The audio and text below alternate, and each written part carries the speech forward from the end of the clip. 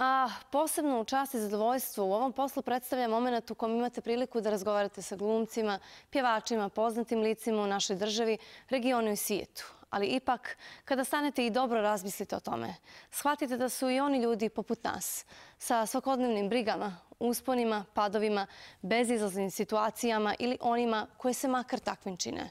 Baš kao i mi, pronađu i oni put od e, nemira do spokoja, od stramputice do pravog usmjerenja, od problema do rješenja, od loma do snage. A baš taj put opisuje glumac Sveđa Štukan, koji je ujedno i gost 16. Međunarodnog sajma knjigu Podgorici i to u svojoj knjizi Blank. Dobro jutro i dobrodošli. Dobro jutro, hvala što ste me zovali. Uvijek i sa zadovoljstvom. Pa eto, da vas pitamo kako ste nam jutro, ste li umorni ili bilo previše rano za ovaj dolazak? Nisam umoran jer ja onako živim zadnjih 15-20 godina, ok, moglo bi se reći porodični život, iako se bavim raznim ludim sportovima. o kojima ćemo pričati u nastavku. ali se bavim tim sportovima na mnogo pametniji način, neko ko prije. Ne, ne srljam više, ali i dalje sam u tim sportovima, ali onako vrlo, znaš, tačno po pravilima i tako. I laganije. Laganije. Prije sam recimo otvarao padobrana 300-400 metara, sad ga otvorio na 1000. To je velika razlika u ozbiljnosti. Jasno, ovaj smiraj koji sam e, pominjala. A kako vam se čini do sadašnji boravak u Podgorici? Ismo li dobri domaćini? Jeste, naravno. Ja sam živio u Crnoj Gori prije rata godinu i nešto. U Kotoru sam bio. Mhm. Tako da ste navikli na naše gostoprinstvo i atmosferu. Ma ne, znaš šta, ja stvarno ne osjećam Ja se nigdje na svijetu ne osjećam strancem. To je lijepo čuti. A kad se priča na našem jeziku, onda stvarno se osjećam kod kuće bilo gdje, apsolutno svuda. Gdje god se priča na našem jeziku, tako je. Meni ne predstavlja nikakav problem ovo što svima predstavlja problem. Ili je to tako iz moje vizure, neki od ozgo, pa se ti ljudi ne vide dole, ne vide se granice, ne vide se podjele, ne vide se čak i ljudi. Pa onda nekako čovjek shvati od ozgo naš, s tim pogledom ono, zakrivljenog horizonta i te električno plave boje koje ljudi obični ne vide na, sa zemlje, jer kad se penjete u atmosferi gore iznad, je boja plava se mijenja, stapa se s crnom, ne da bude neka električna mhm. plava, neka boja koja se ne, ne, ne viđa od ozdo sa, sa zemlje. Onda, ne znam, na tim visinama valjda nekako nešto kaže šta je, šta je bitno, šta nije bitno. I tako, znaš, neke stvari, neke ljudske te gluposti ne mogu jednostavno da prihvatim ko svoje.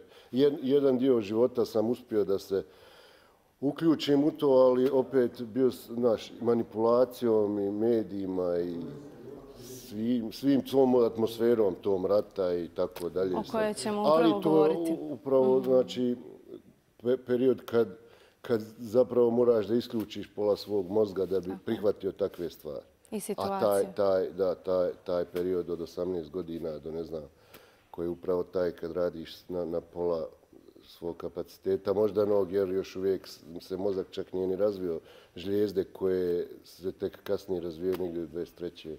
nakon adolescencije. Onaj. Zato ljude i zovu u vojsku s 18, jer možeš u glavu da im staviš matricu kako hoćeš.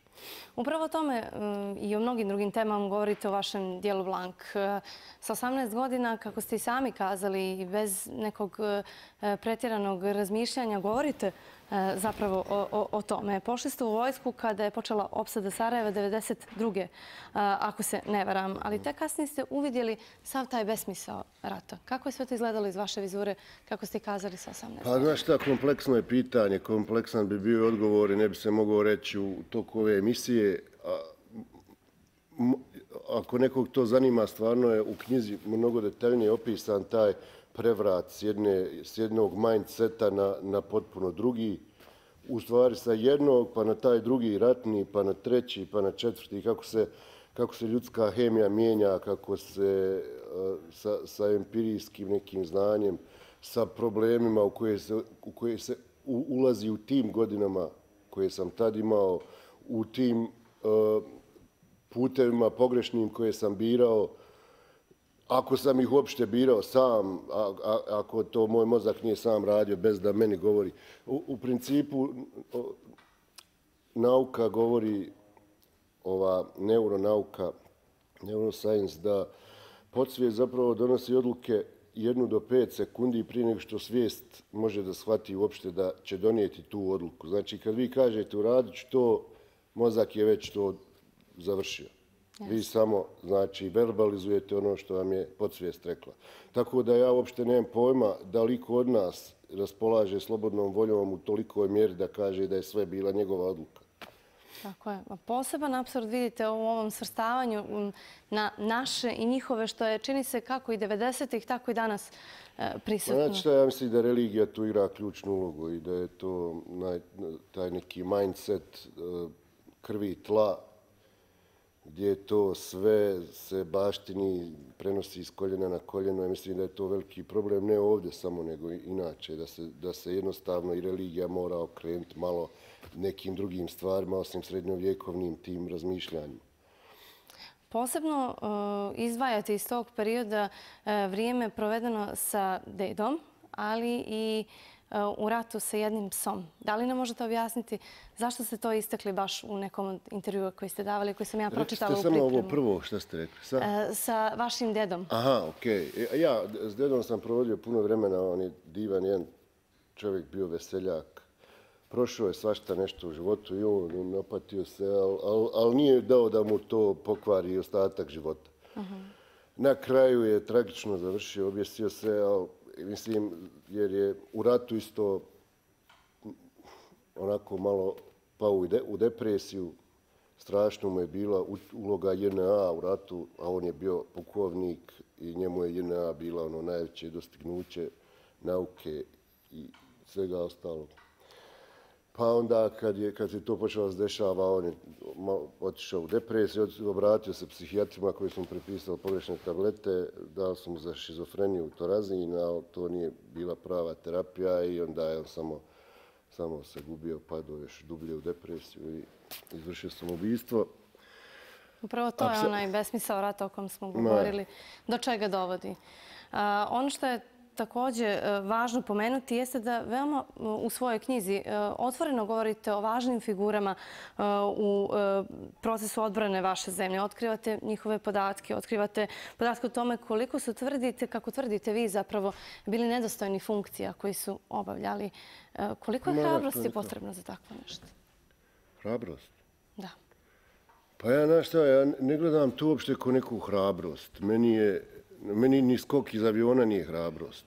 Iskreno, to je priprema, jedna mentalna priprema, trening da bi se uradilo nešto tako. To, to jest strašno, ali kad se vi dobro pripremite za takve stvari, vi izađete, izvršite zadatak, izađete iz aviona na 4.500 metara i uradite ono što treba da uradite.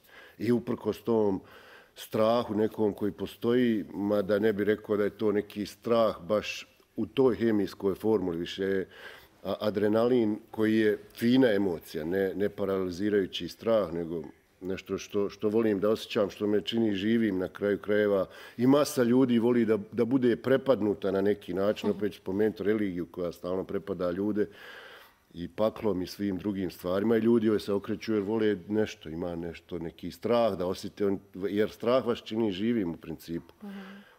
Amerikanci, ovi tamo desničari, ovi evangelisti zadrti, ovi Trumpovi, oni ka, za rat govore the real thing. To je njima rat. Znači, tu gdje se osjećaš, jer ima stvarno u ratu neka komponenta toga da naš svaki trenutak si živ. Ne, ne, pre, ne razmišljaš puno u, u budućnosti jer imaš zid ispred toga, ne vidiš budućnost nikakvu.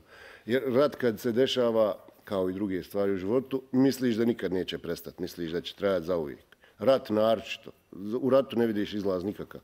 Ali zato vidiš neku, neki život koji te pumpa iznutra, naš, imaš potrebu da iskoristiš svaki trenutak na najbolji u tom trenutku mogući način, kakav god da je to u ratu je bilo strašno dobrih zabava, recimo, najluđih zabava na kojima sam bio, nikad nisam bio ni prije ni posle rata. Upravo zbog toga, zato što svi mi znamo u toj prostoriji da je ovo možda zadnji parti na kojem ćemo biti, što bi čovjek trebao inače da misli, jer zaista možete biti zadnji, ovaj naš razgovor može biti zadnji u našem životu. Šanse su velike za to, nisu male. Ja mogu sad izaći, sjest na motor i završiti svoj život tu ispred vrata. Znači, ja, svaki trenutak, pa dobro, svaki trenutak života bi se trebao živjeti na taj način kako se živi u ratu. Svaki dan može biti zadnji, svaki trenutak može biti zadnji. A potrošiti vrijeme na glupost tipa ja mrzim nekoga zato što ga ne poznajem isključivo iz tog razloga, jer da ga upoznam u bilo kojim drugim okolnostima mogu biti najbolji prijatelj. I mogli bi ga voljeti možda. Tako je. Tako je. Uh, upravo to je ono što sam, uh, na, na što sam zapravo i htjela da uh, ukažem. Upravo taj besmisao rata i bezumlje dovodi do raznih stanja kako ste i opisivali. Vi ste se, nažalost, u jednom trenutku života okrenuli porucima i otvoreno pričate o tome. Pa, Stigla je narkomanija, alkoholizam. Koliko je, kako to sad vama izgleda iz ove vizure? Pa, znaš... Kada živite drugačiji život. Amusing. Zabavno.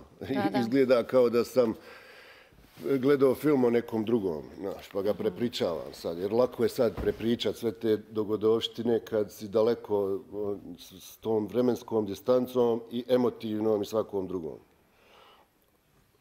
Znaš, mogu o tome da pričam lako i pričam o tome i sa čerkom i često, jer takve stvari mogu pomoći nekome. I, I shvatio sam da stvarno knjiga pomaže ljudima, naročito ljudima sa ovisnostima. Upravo ste u njoj sve ovo opisali. Da, znaš, taj, taj put od uh, tog...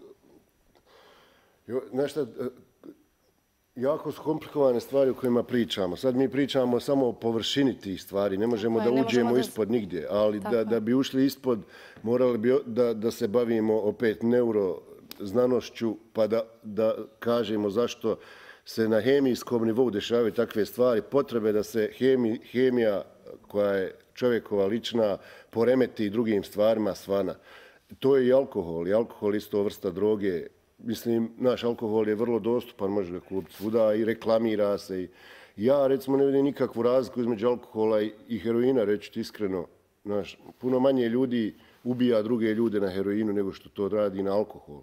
Puno manje porodica se rastori isto, možda je više na heroinu, ali vjerovatno puno više. Hero, heroin ubija, zato, nije, zato je to je prvo što nije dobar. Drugo, uništit će vam vrijeme, a vrijeme je najbitnija stvar na planetu. To je jedino što zapravo imate.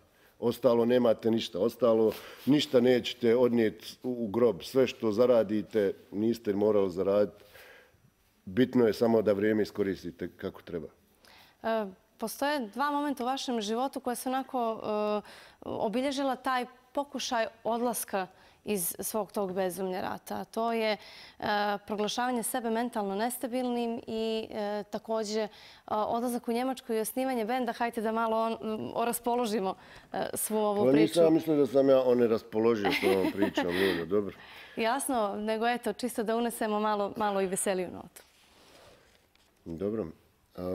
Pa joj, taj život je stvarno divan. Ja mu se divim svaki sekund koji živim. Stvarno ga volim i naš, ja, život udišem i mirišem ga stalno. I on je, on je u stvari, naš, ne, ne mogu reći ni, ni dobar ni loš. Ako kažem da je loš, on je loš zato što nešto nije meni po volji.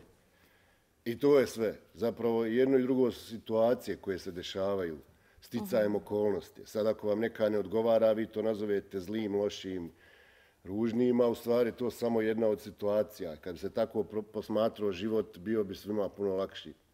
Mogli bi zadržati balans hemije kad bi se samo gledalo na to kao na situaciju, a ne nekakvu lošu, zlu stvar koja vam se dešava. I zapravo nije naš, dobro i loše nije neka nisu to kvalitete koje su određene biološki.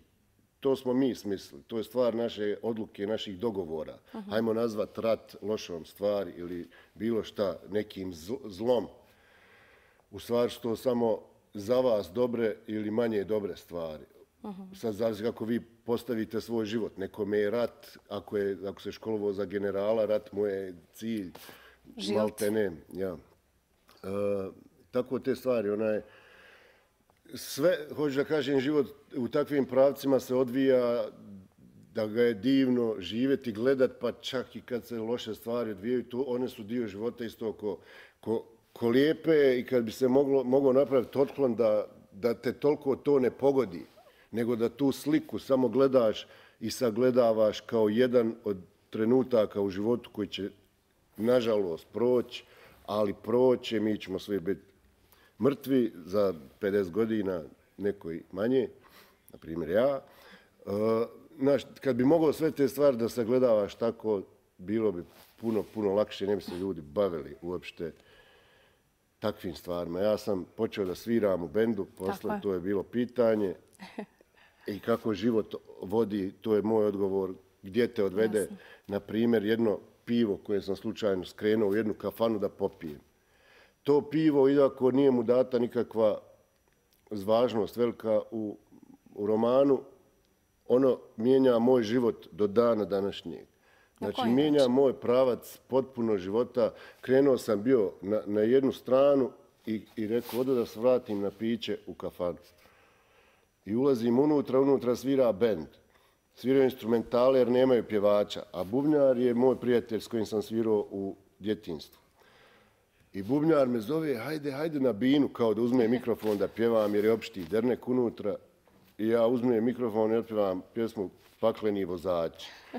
Jer je jedini tekst koji sam u životu znao na pamet. Na pamet. Mhm. I onaj, Iako nisam luđak za tom pjesmom, ništa, mislim, vozim motore. Ja sam, pretpostavila sam da je to relacija. Ali ne veze, nego ne, ne znam što znam tu pjesmu. I uzmem mikrofon, otpevam pjesmu i oni kaže, aj dođi sutra na probu. I ja dođem sutra na probu. I mi se zatvorimo u prostoriju i tri mjeseca vježbamo. Izađemo vani, počnemo svirati po, po klubovima i postanemo najveća atrakcija dole. I onda dođe Bruce Dickinson u Sarajevo na koncert i mi mu budemo prateći bend. I mi zbog tog koncerta izađemo iz Sarajeva jer je čovjek koji je bio na koncertu iz evangelističke njemačke crkve nazovne da snimimo album u Njemačku. I sredimo sve papire, izađemo iz Sarajeva. Tamo postanem beskućnik narkoman. Uh, Kasnije, prošlo je sve to, ja sam se skinuo, živim, imam ženu, dijete, postao sam pilot, postao sam e, magistar glume, postao sam... Odvela vas i gluma i u Hollywood. U Hollywoodu sam radio, bla, bla, i snima se film sada o tom koncertu s Bruce Dickinsonom i dolazi basista, viđamo se svi, Dickinson, ja i, svi oni posle 25 godina na večer. I priča taj, izvini, ovaj basista, pričamo nešto i kao on je izdavač, on je, on je lektor, izdavač sa ratnih knjiga iz Njemačke, rekao ja sam napisao upravo knjigu, jednu preveo sam je na engleski, daj mi da ja budem urednik i on je sad urednik moje knjige. Mislim, e, to je put od tog piva, to ti govorim. Otišao sam da popijem pivo. I, Koliko i sad je to prelovna tačka u, u, u životu, tako jedan sitan događaj. Da, da, da. A ono što sam e, također htjela pomenuti jeste vaša velika strast koju smo pomenuli na početku e, ovog razgovora, letenje. E, došli ste u situaciju da upravo letite i na taj način se povežete sa ljudima protiv kojih ste ratovali, ako se ne varam, nakon 20 godina. Kakva je to situacija? Kako to vi doživljate? Prvo što sam ja uradio kad se rad završio, sjeo sa svojim prijateljem koji je bio u vojsci RS-a, mi se znamo od prirata. Otišli smo auto i, e, autom do i kasarne vojske RS-a na Jahorini. Htjeli smo da iznajmimo kuću jednu za, za slavljenje nove godine. Ja sam sjeo sa generalima, ljud, s ljudima protiv kojih sam direktno se borio. I krenuo je razgovor. I kaže, odakle si ti? Rekao, iz Sarajeva.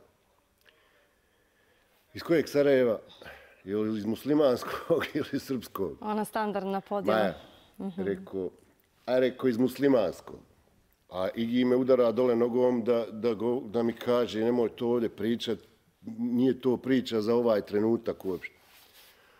Kaže, izbio u vojsci. Sad on mene hvata tu na livadine kako ne, nema odbranu nikakvu. Ja njemu moram odgovoriti. Jer ne mogu sad da ga petljam i lažem jer ne znam lagat, kutam, knedle, ko, koji svi. I I se borio? A rekao, jesam. Što si se borio? Pa bo zato što je rat bio. Je spucao na Srbe? Rekao, jesam. Što si na Srbe? I rekao, pucao sam na Srbe zato što sam vas toliko mrzio. Tol, tolika mržnja je u meni bila. Toliko mi je svaki atom mog tijela htio. I čekao jednog od vas da mu tintaru rascopam na pravdi Boga, samo da ga vidim na snajperu, da, ga, da, da, da roknem jednog od vas. Toliko sam vas mrzio. Toliko sam vas mrzio. Zar je tolika mržnja bila prisutna? Tolika je mržnja bila. Jer šta drugo? Mislim, kako natjerat nekoga uopšte da puca nekog drugog? To je, mržnja je jedan od sistema odbrane svakog živog stvora. I crni, crveni, žuti, mravi mrze jedne druge iz čistog rasizma zato što ne poznaju jedni drugi, a vide da su različiti. Kad Možda vidite da je neko različit... osjećanje. Ikada. Naj... Najtoksičnije osjećanje ikada. Pa, znaš šta, mozak ne raspoznaje toksično od netoksičnog. Ti ako mozgu daš neko osjećanje jedan dan, ako mu ga daš drugi dan, mozak sam počne da ti ga daje, jer misli da ti odgovara. Ako ti odgovara mržnja, e, mržnja se piše hemijskom formulom na tabli, isto kao i adrenalin, koji adrenalin ima formulu C9H13ON3. Ako, ako i, i ljubav ima sli, sličnu formulu hemijsku i mržnja i nacionalizam i vjera, sve ima hemijsku formulu. Sve to hemija.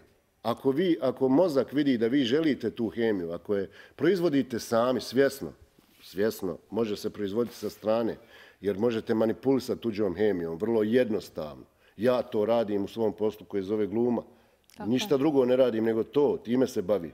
Znači, bavim se andrologijom, da kažem u nekom smislu, bavim se psihologijom, psihijatrijom, bavim se upravo moždanim vijugama, neuronima i izazivanjem emocija kod drugih ljudi. To mi je poslo, radim to za pare. Upravo je ovo o čemu smo uh, govorili sve smješteno u vašoj knjizi koju naši gledoci i naši građani mogu pronaći gdje. Rekli ste mi da vas napomenem, da pomenemo to. U gradskoj knjižari, u gradskim knjižarama ima, evo sad ima sastanak isto da napravimo neki malo zbiljni dil oko toga. Pa, uglavnom sad ima ograničen broj romana u, u gradskoj knjižari, gradskim knjižarama, ali mislim da će u budućnosti biti više. E, ako, ako je želite, stvarno morali biste se danas već zaletiti. Interesovati za nju. Da, da, jer Jasno. ono baš big time se prodaje I zaslužila je. Hvala vam mnogo na ovom poučnom razgovoru. Divno vas je bila slušati. Hvala puno. Hvala vam što ste uzvali.